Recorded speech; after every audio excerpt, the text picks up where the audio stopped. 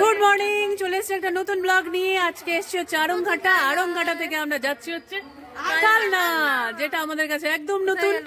তাহলে চলো তোমাদেরও দেখাতে থাকি আমরাও দেখি। অম্বিকা কাল্লা অম্বিকা কালনা। ওখানে অনেক কিছু হিস্ট্রির জিনিস আছে।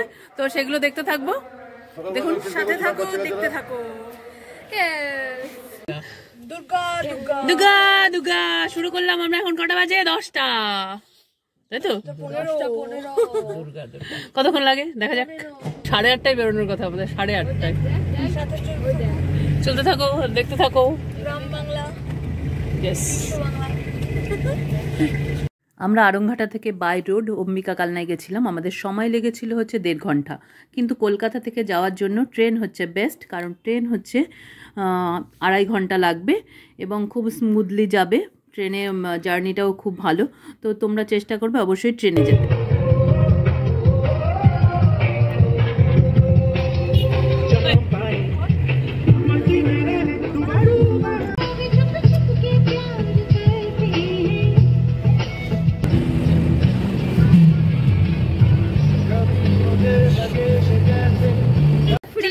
আমরা। দেড় ঘণ্টা লাগল আরংঘাটা থেকে হচ্ছে। ঘাট এটা? কালনা ঘাট। কালনা ঘাটে এখন হচ্ছে পার হতে হবে গঙ্গা। গঙ্গা পার হয়ে আমরা হচ্ছে ওইদিকে যাব। সুন্দরবন। সোনা দিদি কই?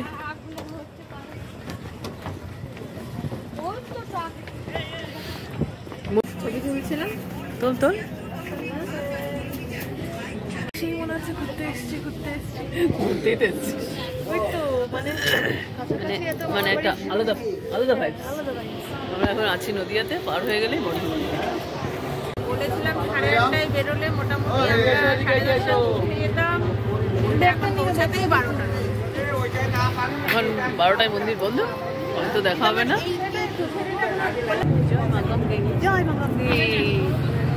এই তো টাইটানিক লাগছে রে। যা, যা, হ্যাঁ? ওইটা নিয়ে তো জীবনে বাঁচা আর কি। কোথায় কোথায় গেছেন আপনি? এমনি এনজয় এই করতে? সব। কাশ্মীর সিমলা। এমনি কোনো জিনিসে না না, রাস্তা দিয়েছেন এমনি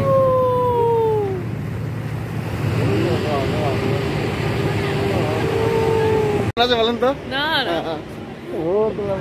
দারুণ দারুণ দারুণ মজা লাগছে। দেখো পুরো ঘাটটা যা শেষ হয়ে গেল। হচ্ছে পৌঁছে গেছি কালনা ঘাটে। এখানে আমরা এখন ওয়েট করছি হচ্ছে গাড়ির জন্য। এখান থেকে বলছে সব মন্দির, দশটা মন্দির আছে, দেখিয়ে দেবে। দশটা মন্দিরে নেবে হচ্ছে পাঁচশো টাকা। আমরা হচ্ছে সাতজন আছি। এখন আমরা এসছি হচ্ছে ভবা পাগলার মন্দিরে, যেখানে কিনা অ্যান্টনি ফিরিঙ্গি সিনেমার শুটিং হয়েছে। অম্বিকা কালনা যেহেতু শান্তিপুর নবদ্বীপের খুব কাছাকাছি, তাই জন্য এখানে মহাপ্রভুর স্মৃতি বিজড়িত অনেক স্থান মাহাত্ম্য আছে।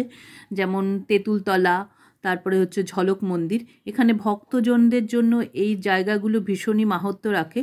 তাই জন্য বেশ ভক্ত সমাগমও হয়।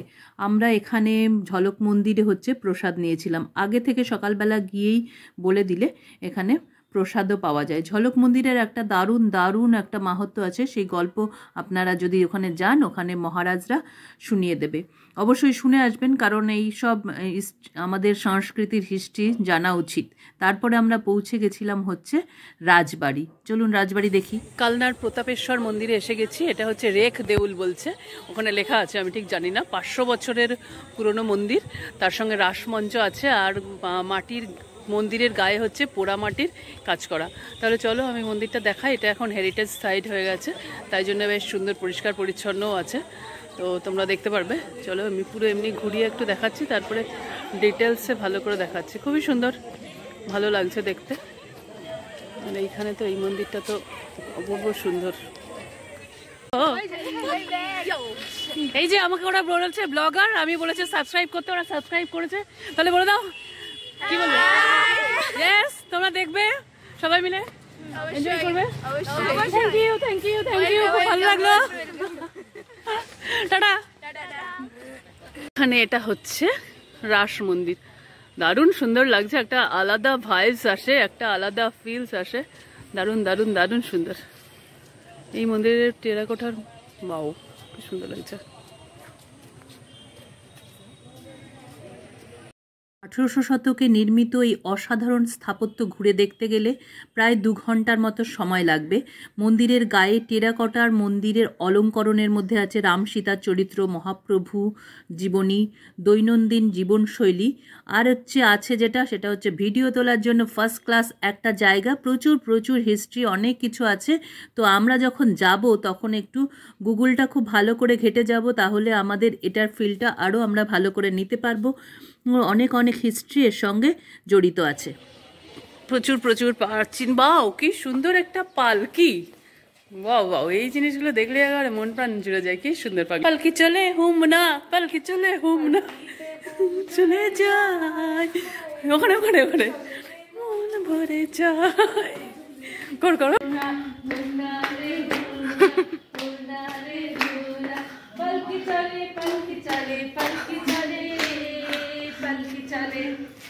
থ্যাংক ইউ ট্রান্স দিয়ে ঢুকে এটা হচ্ছে মন্দিরের ভিউ অসাধারণ অসাধারণ অসাধারণ এখানে একটা তুলসী মঞ্চ আছে।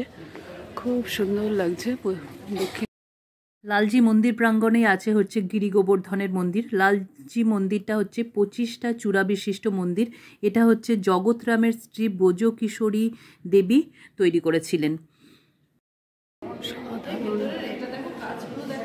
অসাধারণ অসাধারণ কাজ।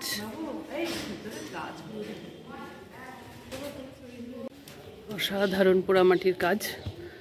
দারুণ দারুণ দারুণ, অসম্ভব সুন্দর লাগছে।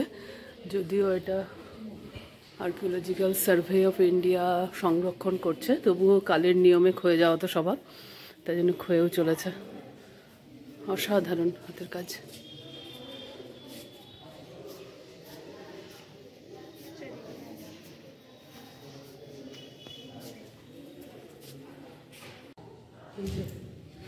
ক্ষয়ে ক্ষয়ে পড়ছে। কালের নিয়ম যাবে কোথায়? সবই চলে যাবে আস্তে আস্তে। সংরক্ষণ করা হলেও থাকবে না। কি সুন্দর কি সুন্দর এগুলো। দারুণ সুন্দর, দারুণ দারুণ দারুণ সুন্দর। দারুণ সুন্দর লাগছে কিনা? কমেন্টস করে অবশ্যই জানাবে যে দারুণ সুন্দর লাগল কিনা। আর পারলে অবশ্যই দেখে যাবে। কারণ এগুলো আর কত বছর থাকবে, সেটা মোটেই বলা যাচ্ছে পুরো মন্দিরটা আমি একবার চক করে দিয়ে দিলাম। বলুন কেমন লাগছে? উফ, কোথায় কোথায়? ঘুরছি। আপনারা চলে আসুন শিগগিরই। দেখলে বুঝতে পারবেন নিজের চোখে না দেখলে এই সৌন্দর্য অনুভব করতে পারবেন সব অনুভবের ব্যাপার অনুভবের ব্যাপার। দর্শনেরও ব্যাপার।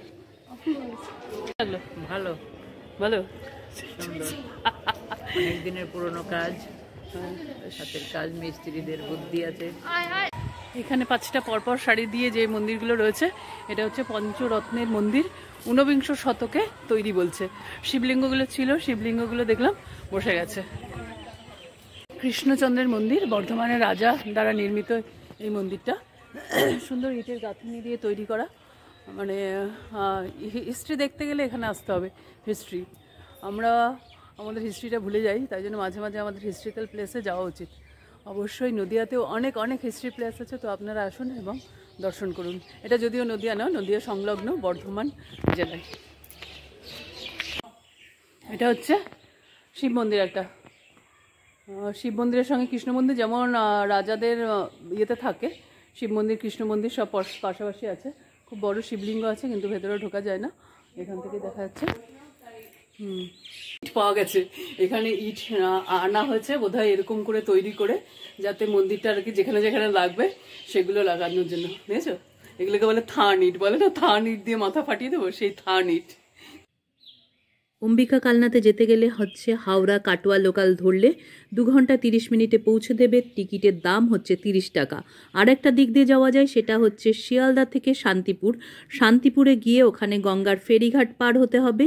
পার হলেই অম্বিকা কালনা টোটো অটোতে আরামসে আপনাকে সারা কালনা ঘুরিয়ে দেখানো হবে। অনেক কিছুই আমরা দেখেছি। ঘুরে ঘুরে দেখছি? কিন্তু এনার্জি লাগবে প্রচুর। জায়গা, মন্দির দর্শন করতে গেলে হচ্ছে এনার্জি লাগবে। সেই এনার্জি এখন অনেকের কমে গেছে, কারণ আমরা খুব ভালো করে লাঞ্চ করিনি এখনও। এখানে কোনো জায়গা নেই। এইবার এসছি হচ্ছে একশো আটটা শিব মন্দির যেখানে আছে, সেখানে। পুরো রাউন্ড করে, কিন্তু কি করে ভিডিও করব আমি বুঝতে পারছি না কীরকম করে দেখাবো। তাও তোমাদের এখানটাই আমি দাঁড়িয়ে দাঁড়িয়ে একটা গোল করে ঘুরে দেখিয়ে দিচ্ছি। এটা হচ্ছে এন্ট্রান্স এই যে পেছনে, আমার পেছনে, এটা হচ্ছে এন্ট্রান্স আর পুরো এই যে দিক দিয়ে ঘুরে পুরো একশো আটটা মন্দির। বরং আমি বরং একটু ক্যামেরাটা ঘুরিয়ে একবার দেখিয়ে নিই যে পুরোটা আমি দেখাতে পারি কিনা। একশো আটটা শিব মন্দিরের হচ্ছে দুপোস্থ করে রাউন্ড করা আছে। মাঝখানের শিবলিঙ্গগুলো সবগুলোই সাদা।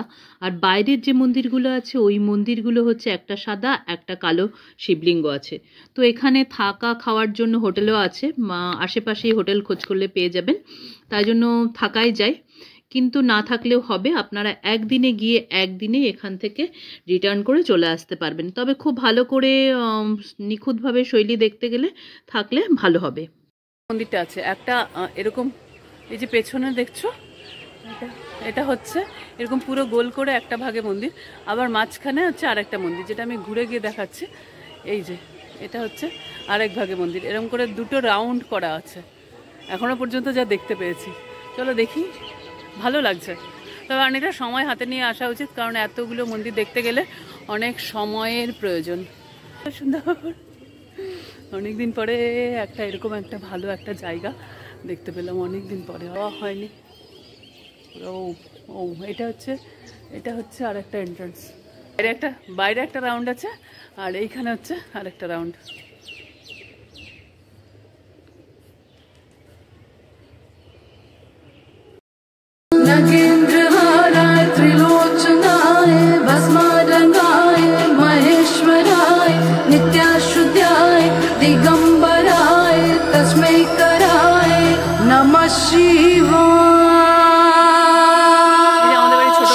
তিনি হচ্ছেন সব মন্দিরগুলো কাউন্ট করছে।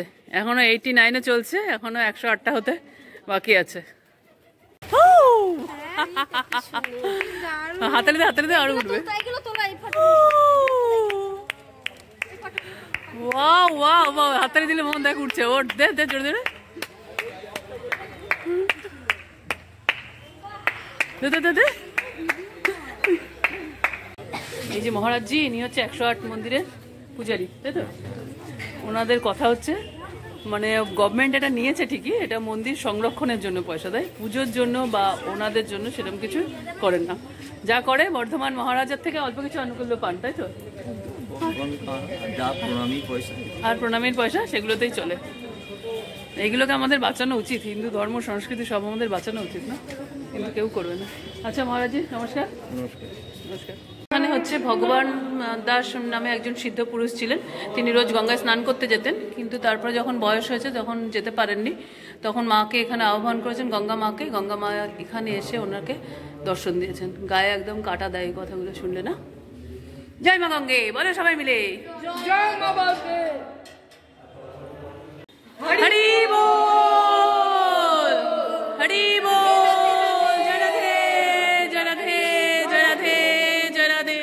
জয় রাধে জয় রাধে জয় রাধে হরি বল এত কালনাতে এত মন্দির সেখানে মোটামুটি তিন দিন তিন দিন লাগবে তাই তো বাবু? তিন ঘন্টায় হবে না আমরা অনেকক্ষণ ধরে ঘুরছি কিন্তু শেষ হয় না। খুব ভালো করে দেখতে গেলে হ্যাঁ ফটো তোলার লোক বলে। মোটামুটি অনেক সময় নিয়ে আসলে আর ভক্তজন তো আসলে তাদের খুব ভালো লাগবে। তো আসুন, কালনা দর্শন করুন। এখানে একটা অম্বিকা দেবীর মন্দির আছে, সাক্ষী গোপালের মন্দির আছে, আর এটা হচ্ছে গৌরীয় মঠের বিগ্রহ। আমরা অনেক মন্দিরের বিগ্রহ দেখতে পারিনি কারণ একটা ইম্পর্টেন্ট কথা হচ্ছে বারোটা পর্যন্ত মন্দিরগুলো খোলা থাকে তারপরে আবার চারটে থেকে খোলা থাকে। তাই জন্য ওই মিডিলের টাইমটায় গেলে মন্দিরের বিগ্রহ দর্শন করা যাবে না। পুরো কালনার মন্দির টন্দির সব ঘুরে দেখাল ভালো দেখাল অনেক সময় দিল। যেটুকুনো সময় আমরা ভেবেছিলাম তার থেকে অনেক সময় গেছে। ভাই থ্যাংক ইউ হরি বল।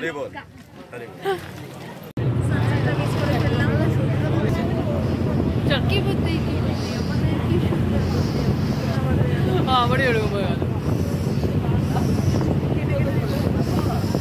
বাই বাই এখানে আমাদের ভিডিও শেষ হচ্ছে আট মন্দিরের ভিডিও আর আমরা দেখাতে পাচ্ছি না কারণ অন্ধকার হয়ে গেছে সানসেট হয়ে গেছে টাটা বাই বাই